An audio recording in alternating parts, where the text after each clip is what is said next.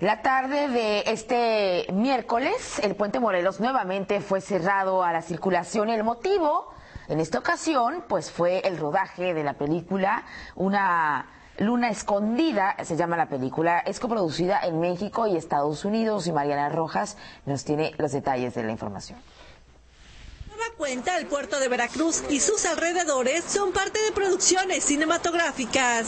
Este miércoles se dio el plaquetazo de inicio de la película Luna Escondida, contando con invitados como autoridades porteñas en el conocido Puente Morelos.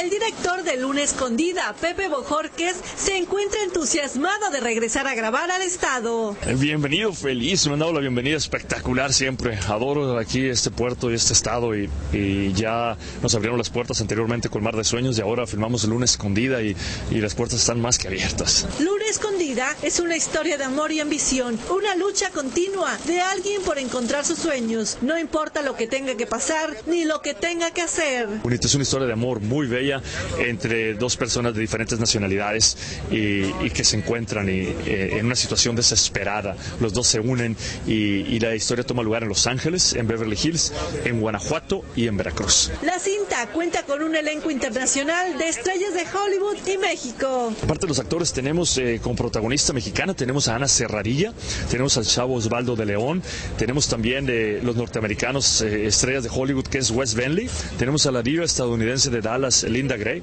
y tenemos al chavo de Drop the Diva, el programa de televisión que se llama Jackson Horse, y, y la señora Angélica María. Cerca de 200 personas, entre actores, extras, productores y técnicos, realizan esta cinta, donde Veracruz aparecerá como la ubicación de la película. Con imágenes de Carlos Durán, Televisa Espectáculos, Mariana Rojas Pimentel.